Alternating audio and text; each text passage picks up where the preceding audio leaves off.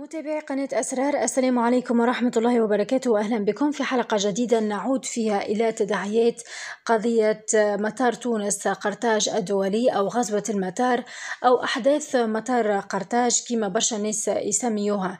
فما تطورات جديدة في هذه القضية اللي مجبوط فيها نائب سيف الدين مخلوف مباشرة كانت صار مسار ذات يوم في مطار تونس قرطاج الدولي. جديد هذه القضية نشرته إذاعة موزايك الموزاييك وقالت أن النيابة العمومية بالقطب القضائي لمكافحة الإرهاب أحالت يوم الخميس 22 أفريل 2021 المرأة التي منعت من السفر عبر مطار تونس قرطاج على أنظار قاضي التحقيق الذي تولى استنطاقها طيلة أكثر من ثلاث ساعات من أجل تهم تتعلق بالانضمام إلى تنظيم إرهابي بالداخل والتواصل مع تنظيمات إرهابية بالخارج. قاضي التحقيق شنو قرر في هذه القضية؟ وبعد ثلاث ساعات من الاستنطاق قرر الإبقاء على المتهمة في حالة سراح مع عرضها على القيس في انتظار استكمال التحقيقات في ملف القضية.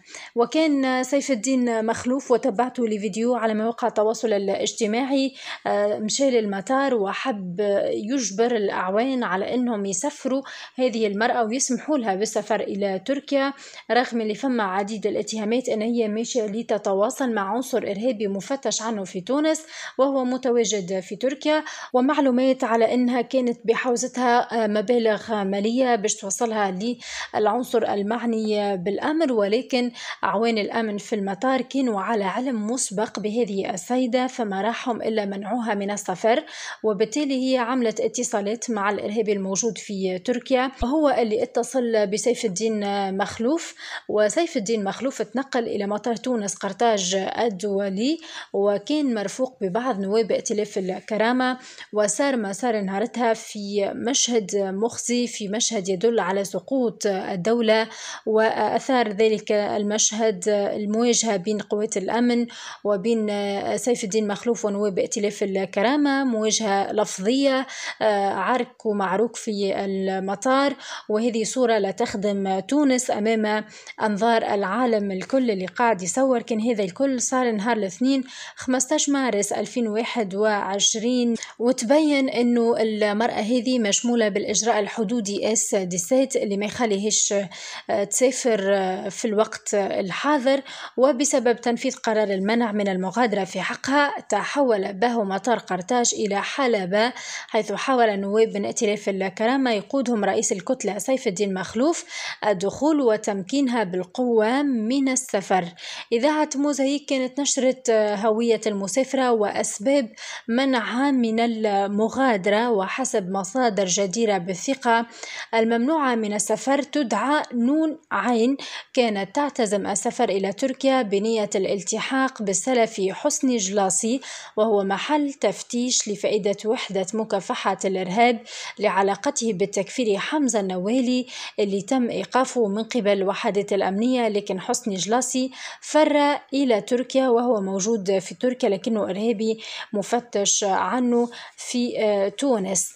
المعنية بالأمر والمعنية بعدم السفر خضعت للبحث في الوحدة الوطنية لمكافحة الإرهاب في وقت سابق وهي محل تتبعات أمنية في مجال الإرهاب. هذاك علاش صادر بشأنها قرار ال S dix-sept حسب المعطيات المنشورة في المواقع الإخبارية فإنه حسني جلاسي هذا الإرهابي الموجود في تركيا اللي كانت تعتزم الممنوعة من السفر إنها تلحق به في تركيا كانت تحول سابقا سابقا إلى دولة الجزائر الشقيقة وتم إيقافه هناك من قبل السلطات الأمنية الجزائرية باعتباره محل تفتيش لفائدتها منذ سنة 2005 وحتى نجم نحكي على تبادل المعلومات بين تونس والجزائر في مجال مكافحة الإرهاب. وتم ترحيله إلى تونس عبر الحدود البرية مع الجزائر وكان في استقباله آه، المحامي سيف الدين مخلوف وهو ما يرجح إمكانية تلقيه لاتصال هاتفي من حسني جلاسي ليتحول إلى المطار مطار تونس قرطاج الدولي لتمكين المسافر من السفر عنوة. سيف الدين مخلوف الذي يلقب بمحامي الإرهابيين. كل قضية فيها إرهابي إلا وتلقى سيف الدين مخلوف هو المحامي عنه وهذه تطال تهم كبيرة في مسيرته المهنية وكذلك في خطاباته في البرلمان. الممنوعة من السفر كانت أكدت لأعوان الأمن بمطار تونس قرطاج الدولي اللي هي ما اتصلتش بحتى حد من نواب ائتلاف الكرامة لا سيف الدين مخلوف لا عبد اللطيف العلوي ولا أي نائب آخر من هذه الكتلة وما طلبتش حضورهم. مالا كيفاش سمعوا؟ tout simplement هذا اللي ينجم يفسر إنه الإرهابي الموجود في تركيا هو اللي اتصل ونسق مع سيف الدين مخلوف ولمحاولة تسفيرها عنوة رغم اللي فما dix-sept في حقها.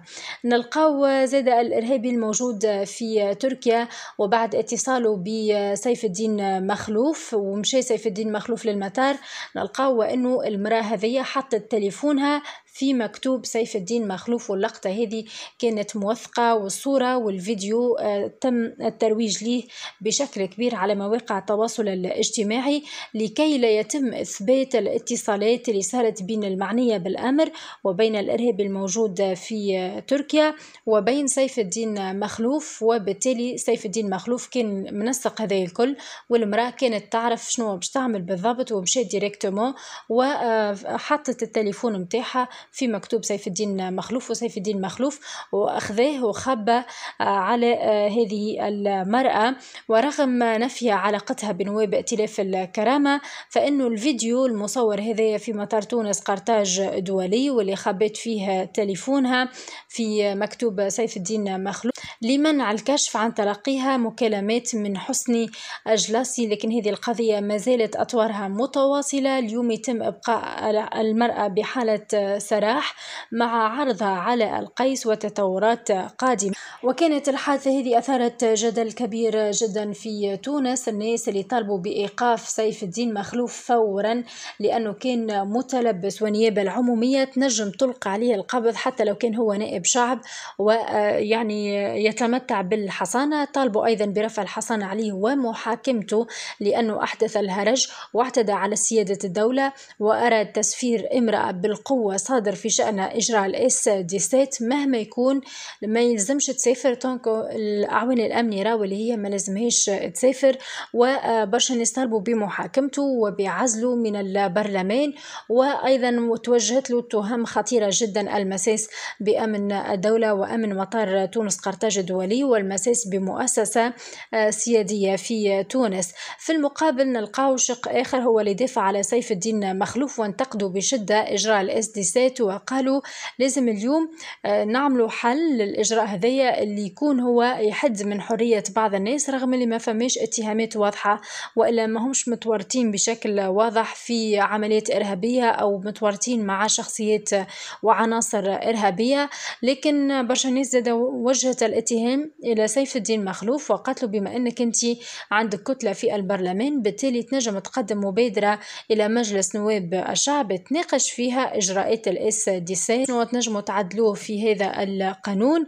وبالتالي مشكل المراه هذه متضرة ساعات فما برشا ناس تولي ما تنجمش تسافر وما تنجمش معناها حتى باش تداوي وإلا حتى باش تخدم ولا باش تقرأ.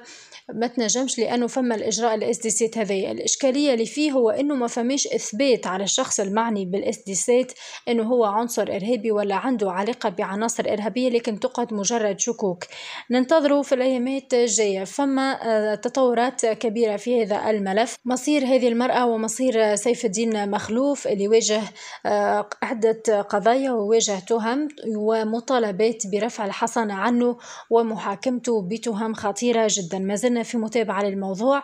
ما تنسيوش تعملوا اشتراك في القناة وتفعلوا الجرس باش يوصلكم الفيديو القادم.